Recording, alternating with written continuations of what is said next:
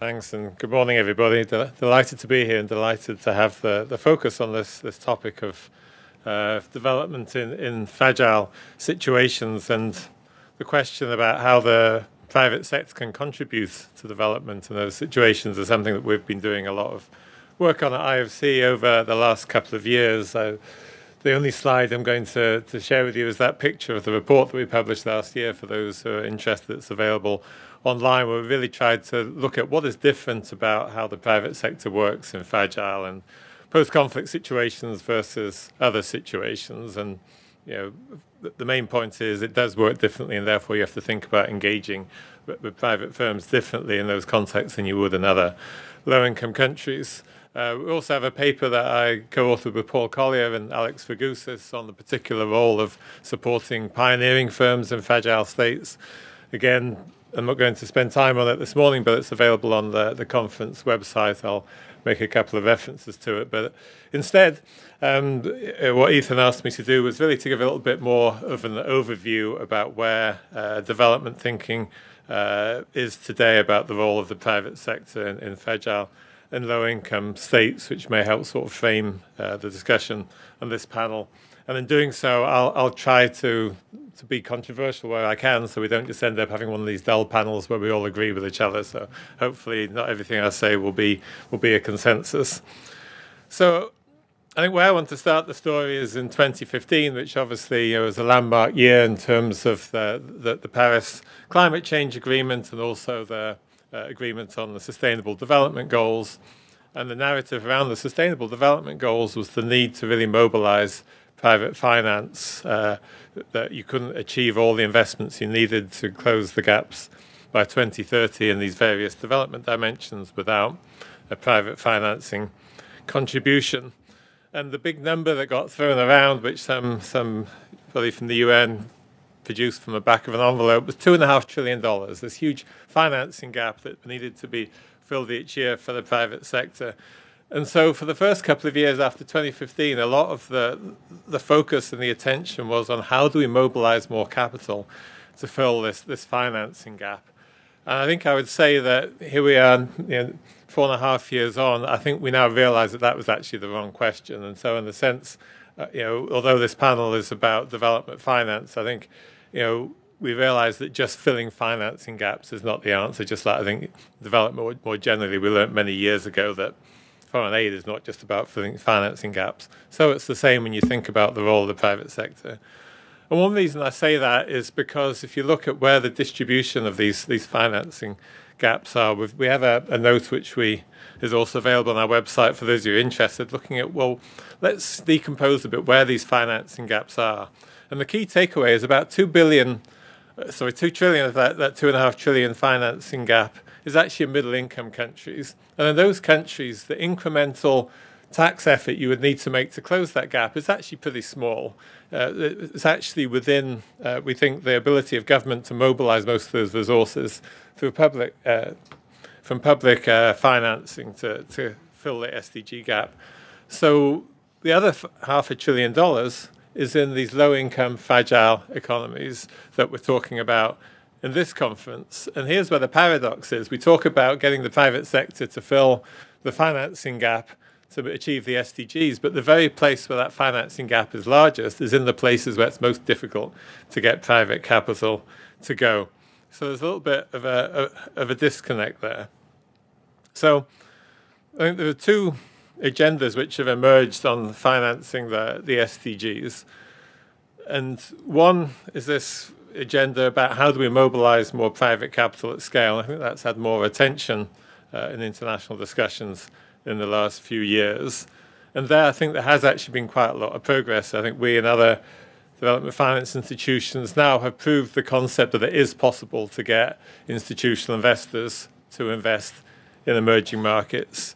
We have uh, just an IFC, an asset management company, which has raised about $10 billion of equity uh, from various institutional investors. We have uh, a co lending platform, a, a, syndicated loan platform, which has raised a similar amount on the debt side. We've, we've kind of proved the concept. We know we can attract institutional money into these markets. And I spend a lot of my time traveling the world talking to institutional investors about what will it take for them to invest more in, in these emerging markets. And the appetite is there. What they need is the vehicles, they need the investment opportunities, but the, investment appetite is there. In the world of very low interest rates in developed markets, investors are looking for opportunities to, for higher investments. These potentially can be growth markets which offer higher return investments. So there has been quite a lot of financial innovation, I would say, uh, various uh, initiatives amongst the development banks to, to mobilize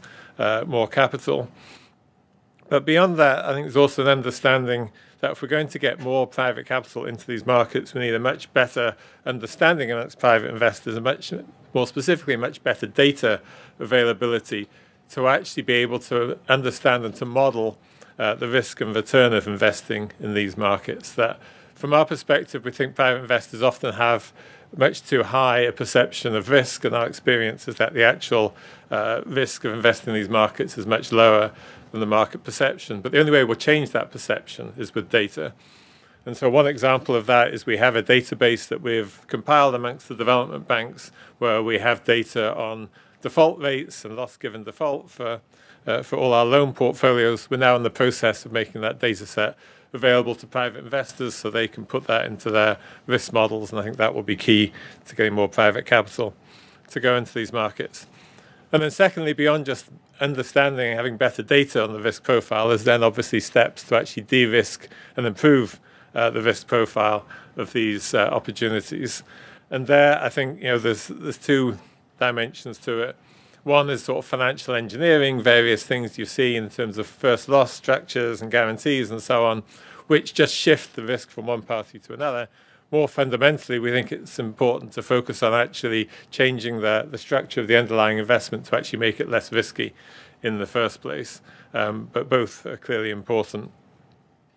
And then the third thing you see on, on the uh, on the investing side is that increasingly there's an interest amongst private investors in investments which have a clear and measurable impact, whether it's on climate change goals or whether it's on the sustainable uh, development goals. And see, we've seen a big uh, growth in, in what is known as, as impact investing, and we see that both from the retail market, the high net worth and family offices market, but also in, in, many parts of the world, institutional investors are starting also uh, to be looking for investments that have impact. That drives them again to emerging markets where the biggest financing gaps are for uh, for financing the climate change goals and the sustainable development goals.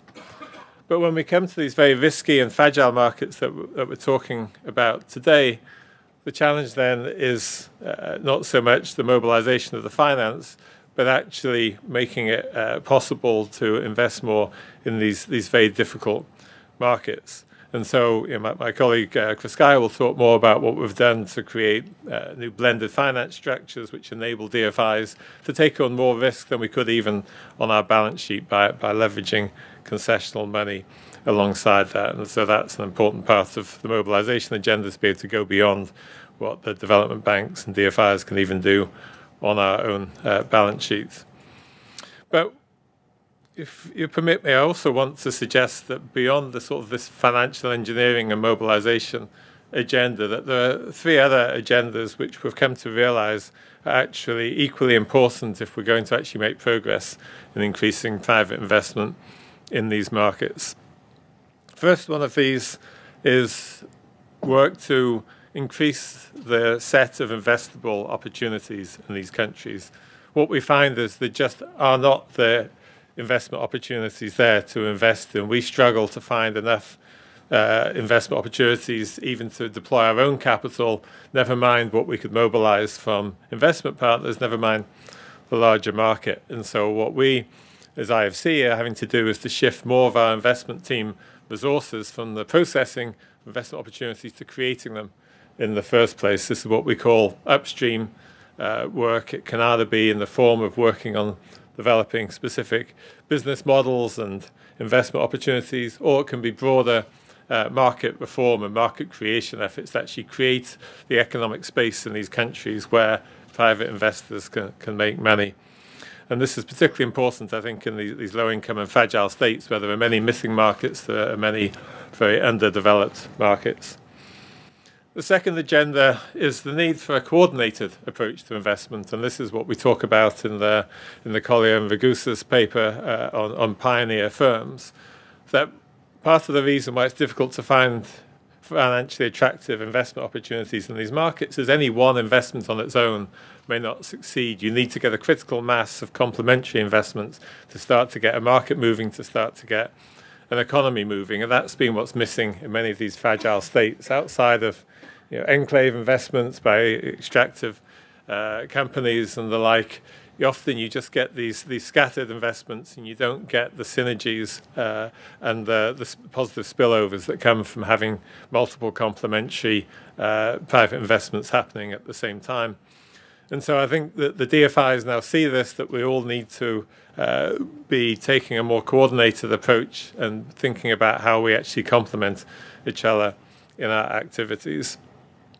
And then the third agenda is that you can have all the investment opportunities you like, you can have great markets that you've created, but you still have something missing. What is missing is the, the large formal sector firms who can actually take up those investment opportunities and actually uh, manage and implement these investments. So, as investors, you're always looking for the sponsoring company that you're going to invest in, and that is missing in these low income markets and fragile states. In low-income countries in general, we have some research that will be coming out in the middle of this year where we've looked at the size distribution of firms in low-income countries versus other markets. And we find there isn't a missing middle, as people have often thought in these countries. There's a missing top. There are much fewer large enterprises, enterprises that employ over 100 people, than you would find in a size distribution of middle income or high income countries. And why does this matter? This matters because when you think about where gross, where, where net job creation comes from, it mostly comes from large firms. SMEs are great for growth job creation, but it's churn. They create a lot of jobs and they destroy a lot of jobs. The actual net increase largely comes from large firms. Almost all the productivity increase comes from large firms. And we know from a lot of World Bank research that the main path out of poverty for people is moving from a low productivity job to a high productivity job. So we need these large firms to increase productivity and to help people move out of poverty. There aren't enough of these large firms. So you're not going to have enough investment without those large firms. So uh, I should wrap up in the last couple of minutes. So let me just tell you a little bit about what some of the action steps that we're taking amongst the DFIs on this agenda. I think firstly, you're seeing various types of, of country platforms emerge to try and address this, this need for coordinated approaches uh, to actually get a critical mass of investments going. You have the G20 Compact with Africa, you have World Bank country platforms, you have UNDP uh, country mapping exercises. It's a little bit of a, a, messy space right now, but I think the important point is that people are starting to think about the need to go beyond thinking about individual investments and think in a more coordinated approach. Related to that, we have a work program now between IFC and the World Bank to do country diagnostics, where we look at the potential for private uh, investment uh, in key sectors in a range of countries, and this provides a common uh, analytical knowledge base for a wide range of investors looking at those opportunities, which again we hope will lead to uh, more better coordinated investments. And within the World Bank Group, we have better coordination now between where the public sector invests and, and the private sector invests, and uh, a process by which we try and prioritize bringing in private investment uh, where that's possible, uh, particularly in areas uh, like infrastructure. We have a coordination process now amongst the, the DFIs. It just had its uh, second meeting in Oxford last week. So instead of DFIs chasing the same few deals in these very fragile markets, we're now get, getting better coordinated and having one lead DFI uh, take the lead and trying to develop investment opportunities in one fragile state and another DFI take the lead in another fragile state.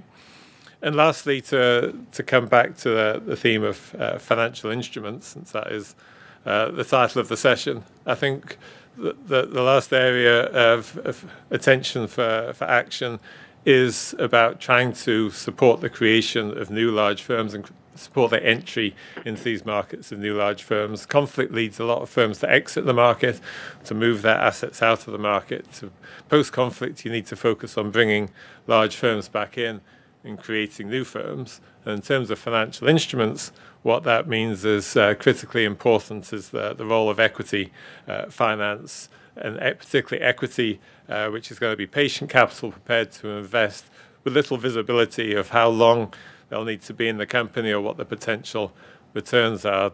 This kind of patient capital in itself is a form of, uh, of blended finance.